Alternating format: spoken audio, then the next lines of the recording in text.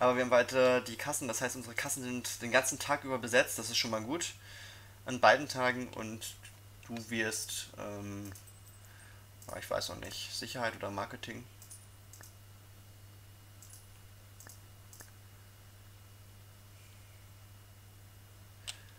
Lara, was hast du denn für einen... Warte mal, Lara muss ich mir nochmal angucken. Lara, Lara, Lara, wo bist du? Ja, nicht zugeordnet. Äh, Lara. Uh. Lara.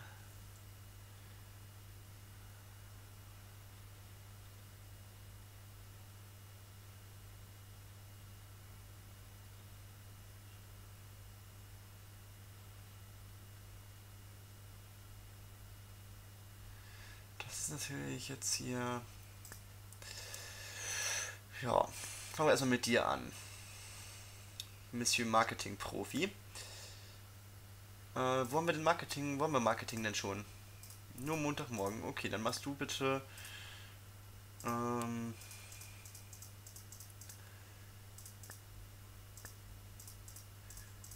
den Dienstagmorgen Marketing. Ist doch eigentlich. Äh, nee, nein. Nein, nicht so. Nee, so ist es auch falsch. So ist richtig.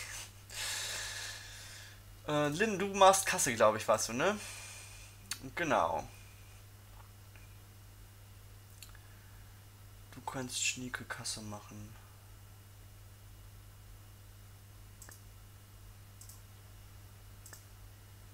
Ähm, 1, 2, 3, 4, Pause, 1, 2, 3, 4.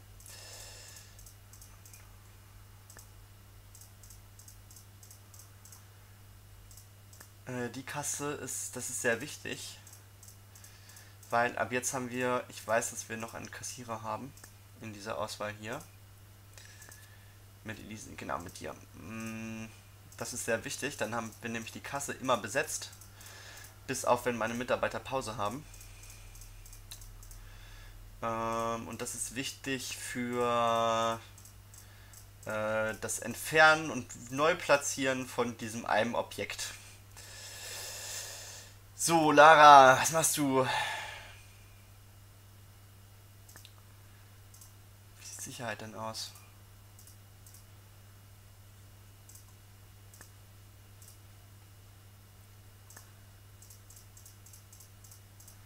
Da war, glaube ich, nur einer, ne? Jeweils in der Sicherheit. Dann machst du die Sicherheit. Zwar an diesen Tagen. So, jetzt müssen wir uns überlegen, mh, hm, wen hätte ich gerne als Geschäftsführung? Dich nicht. Dich auch nicht. Dich auch nicht. Dich auch nicht. Hans war, glaube ich, gut, ne? Hm. Hans war nicht verkehrt. Hm. Nikolai würde ich aber, glaube ich, noch vorziehen, Tatsache. Ich glaube, der hat mehr Sterne, ne? Und Hans.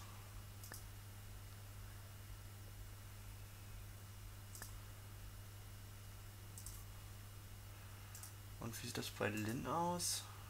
Ne, Lin war nicht das, was. Wie wollte ich denn gucken? Lara wollte ich gucken, ne?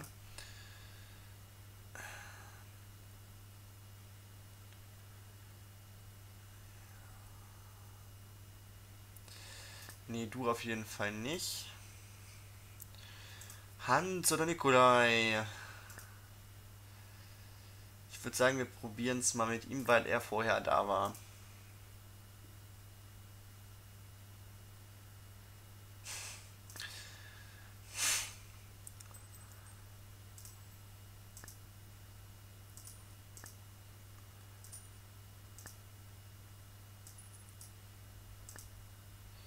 Okay, für 38 macht das auf jeden Fall nicht. Das ist doof. Aber wir machen es einfach nochmal. Äh, machen wir direkt für, für 40. Okay, für 40 macht das, das ist gut.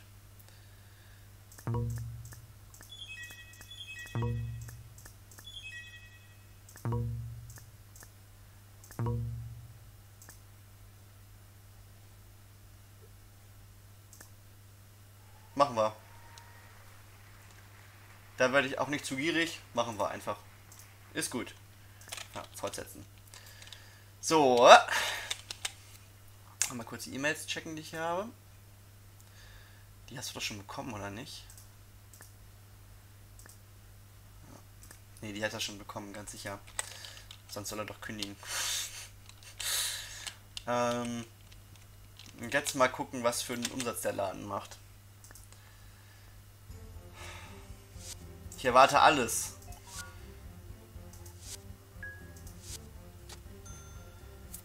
Ja, zur Stadt gehen bitte.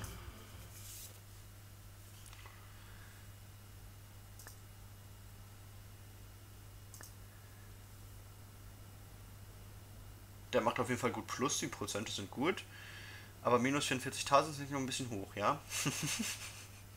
Bin ich jetzt ehrlich, das ist ein bisschen bisschen hoch. Ich weiß gar nicht, warum die Ausgaben so krass hoch sind noch. Ähm, aber das ist auch nicht so schlimm.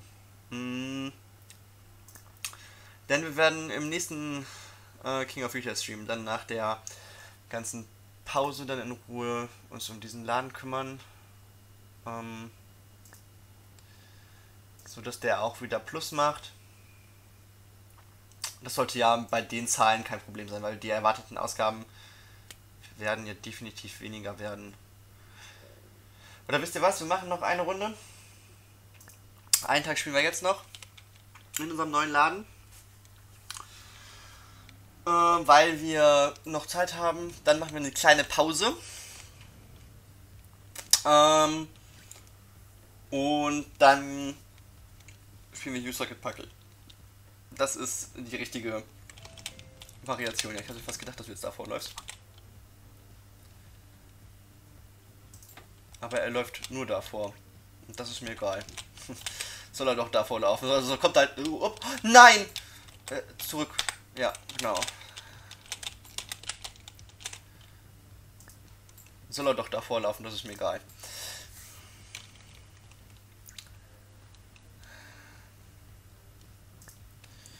Kannst du bitte einmal auffüllen? Das machen?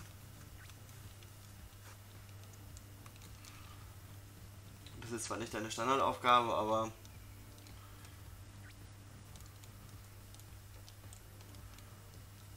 so haben wir Ware im Laden, die ich hier ausgepackt habe.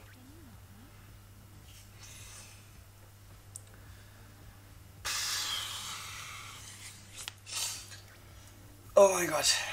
Ich bin fertig mit dem Entladen ihrer... Ja, das weiß ich, dass du fertig bist. Das habe ich schon gesehen. Ich bin schon am Auspacken.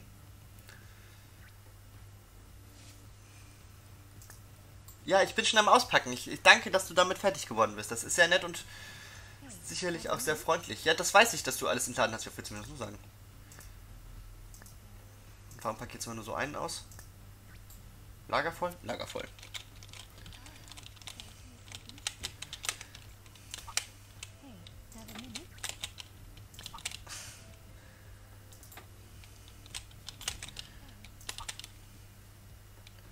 Lassen wir ihn auch aus dem Laden wieder raus. Ja, so nett sind wir dann doch mal.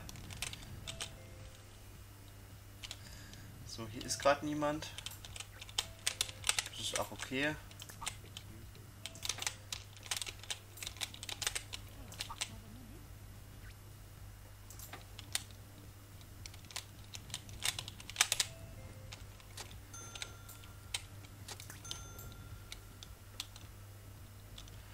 Leute, ich weiß, es ist blöd, aber ich muss hier ab und zu muss ich die auch wieder wegnehmen hier. Damit meine Leute sich hier weiter bewegen können. Ähm auch wenn es dezent nervig ist, ich gebe es zu. Jill, du auch. Nur um dann in eine andere Richtung zu gehen. Ja, ich komme.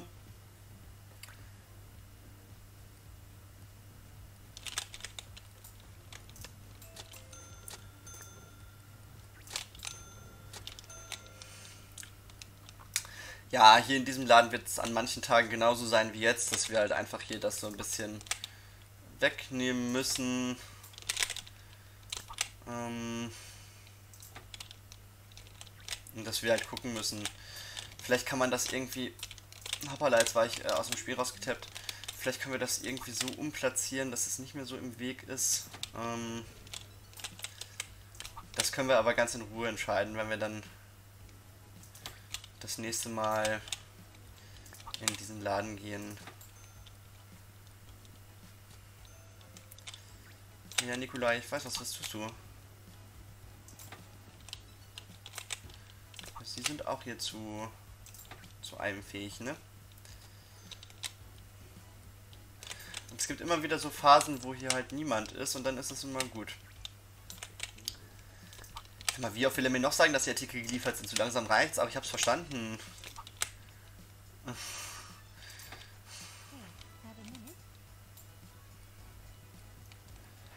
Ja, dann machst du bestimmt auch gleich mit das Pause, oder?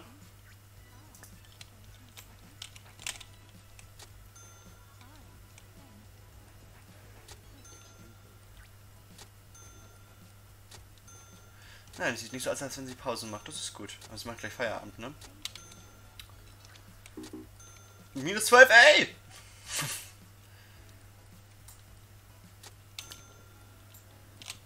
Ich finde, es geht vom Vorlaufen. Also das ist nicht zu extrem wie das andere war ja...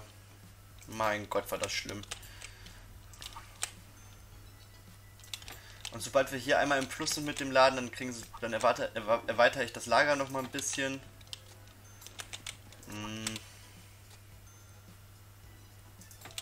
Sag mal, Nikolai doch ver verarschen, oder? Also ich muss gerade meinen Mitarbeitern hier so ein bisschen helfen. Lara ist auch so doof. Aber Lara will auch gar nicht daher. Ist okay, gut. Dann nicht.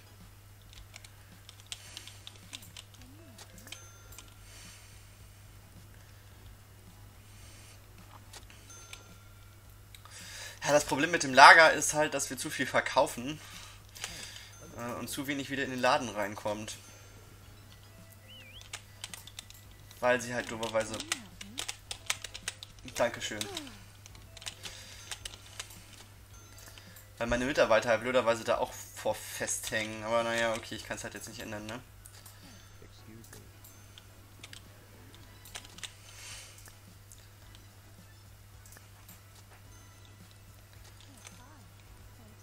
Solange wir das so ein paar sind, akzeptiere ich das einfach.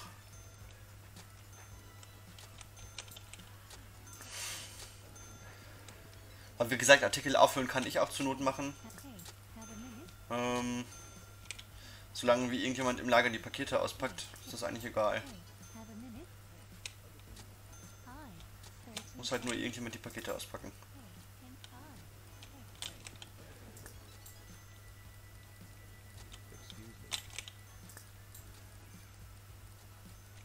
Ja, das ist minimal hier das Problem. Ich meine, guckt euch das an, das sind jetzt zwei Leute, die hier vorlaufen.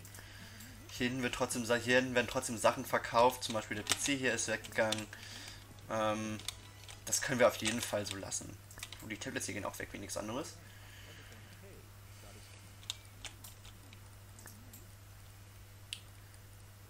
Mit anderen Worten, unser Ladenkonzept funktioniert. Wenn auch nicht schön. Aber es funktioniert.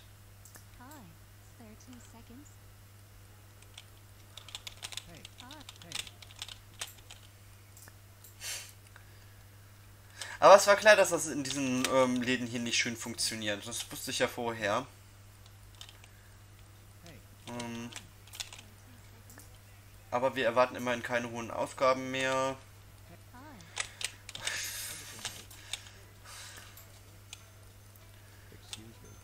Und wenn wir jetzt noch Verkäufer und so hier in diesen Laden bekommen, macht er auf jeden Fall Plus.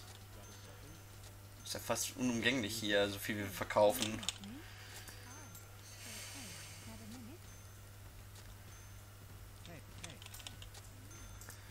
Ich weiß ja nicht, warum da jetzt eben minus 48.000 stand, weil das ist ja eigentlich Quatsch. Weil der Laden, ich habe ja gar nichts mehr gekauft hier in dem Laden. Das ist wahrscheinlich, weil der Laden ähm, noch so viel Minus gemacht hat im Schnitt und der, das Spiel dachte so, na, kommt bestimmt noch was hier. Alles klar. Ich wollte nur meinen Mitarbeiter eigentlich weglassen.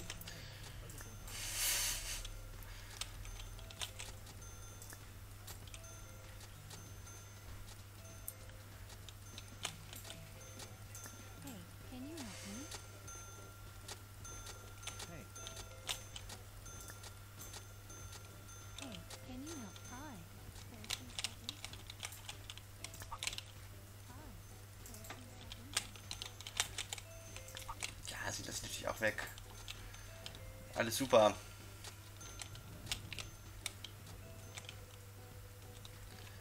Wir, haben das jetzt so unproblematisch wie möglich platziert, denke ich.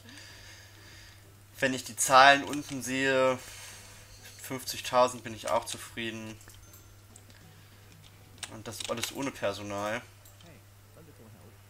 Ähm, das ist, denke ich, schon gut ein guter Tag gewesen. Gerade hier hinten ist auch viel weggegangen. Die Monitore sind fast alle weg. What the fuck?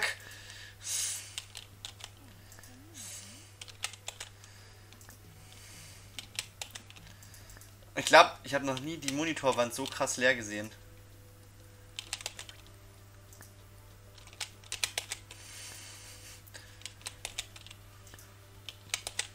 Die können wir auf jeden Fall, weil die geht schnell wieder aufzufüllen.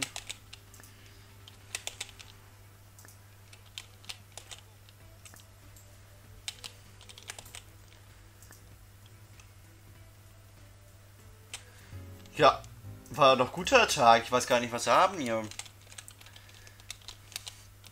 Was haben wir für erwartete Ausgaben? Nix. Das ist gut. Dann können wir nämlich einmal ganz entspannt das Mindestlager nachbestellen hier. Müssen wir sowieso machen. Ach, Nikolai möchte mehr Geld, ja. Komm. Komm, Nikolai, kannst du dein Geld irgendwo anders hinstecken, aber...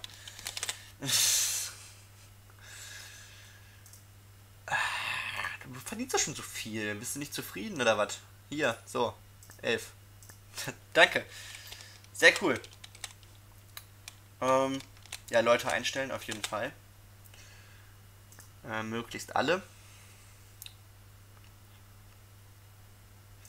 Guck mal, da haben wir noch eine Verkäuferin. Oh. Ähm, die ich abgelehnt habe aus Versehen. Naja, ist okay, kann passieren. Äh, ich wollte dich eigentlich einstellen, aber gut, dann halt nicht. Das war ein Zeichen. Jetzt mal eben gucken. Weil wir haben auf jeden Fall Plus gemacht.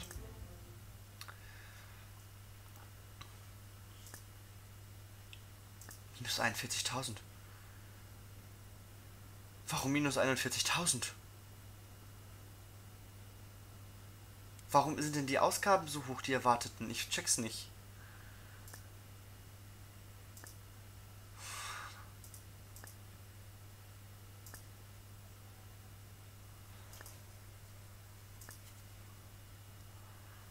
Also ich bin ehrlich, ich weiß nicht, warum die Ausgaben so hoch sind.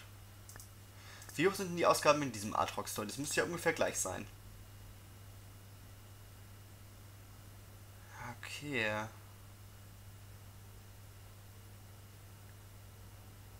Aber müsste nicht eigentlich der hier, weil wir so viel verkaufen, müsste das nicht höher sein?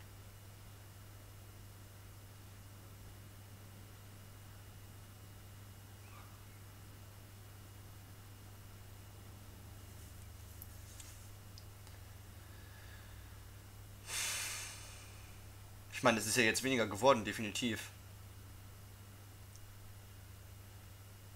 Ja, damit beschäftigen wir uns dann nach der Sommerpause. Ähm, denke ich ganz gut. Weil ich glaube, das geht auf jeden Fall, dass wir das wegbekommen und mit dem Laden auch ordentlich Plus machen. Ähm, das Spiel muss nur realisieren, ey, ich mache gar nicht so viel Minus.